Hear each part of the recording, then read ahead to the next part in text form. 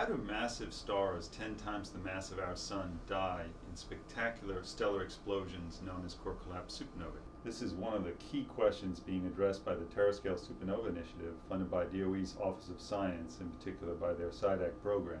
Why is this question being addressed? Core collapse supernovae are the dominant source of elements in the universe, without which life as we know it would not exist. Therefore, understanding how they occur is tantamount to understanding how we came to be in the universe, and consequently, one of the most important unsolved problems in astrophysics.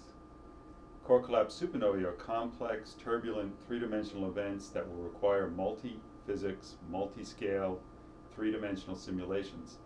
These events probe extremes of nature that, relative to our everyday world, are simply unfathomable. Take, for example, the dense matter in the neutron star produced by the supernova, one of the supernova's remnants. One cubic centimeter, the size of a single sugar cube, would weigh as much as the entire human race. And the challenges don't stop there. Three-dimensional core collapse supernova simulations will produce data at the staggering rate of hundreds of terabytes per simulation.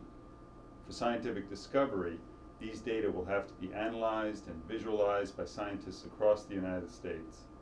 The infrastructure that must be in place to accomplish this, namely the infrastructure for data management, networking, visualization, and enabling the overall scientific process or workflow, is daunting.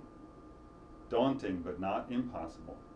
Through the SciDAC program, multidisciplinary teams of scientists, mathematicians, and computer scientists have been assembled to tackle these scientific and infrastructure problems, and with great success.